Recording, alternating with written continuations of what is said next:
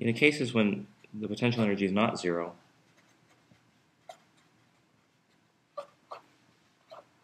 but can still be approximately approximated to be a constant, life is not so bad.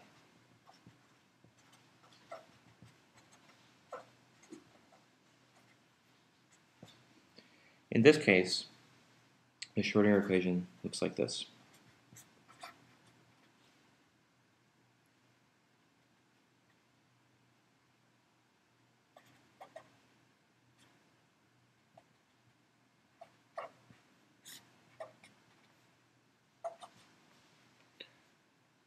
Because I have that extra potential term here, which was zero in the last case, but now is constant. And so we can define this to be a new wave number squared times psi, where k prime squared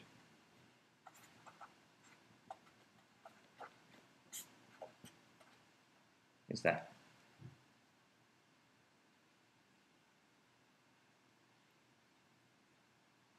And then again, we would expect psi to be something like either plus or minus i k prime x. So if, for example, we had a potential energy curve that looked like this,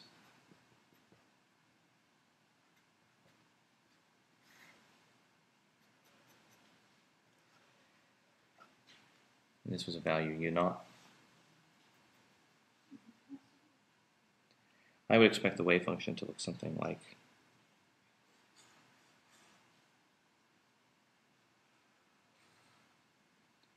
something like that. Here, k is large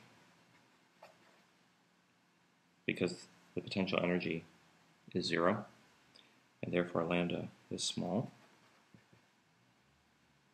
Here, k prime is small because now this potential energy subtracts off from the total energy, and therefore the wavelength in this region is large.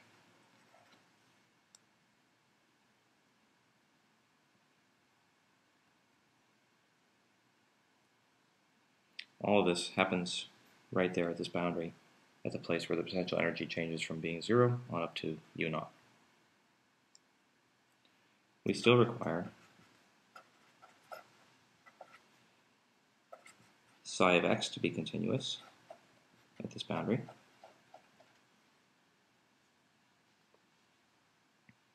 And we have to require that d psi dx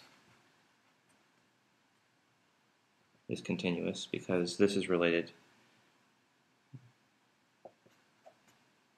to the momentum. And we want that to be continuous. That also has to be true because d squared psi or dx squared makes a continuous jump, uh, only a finite jump.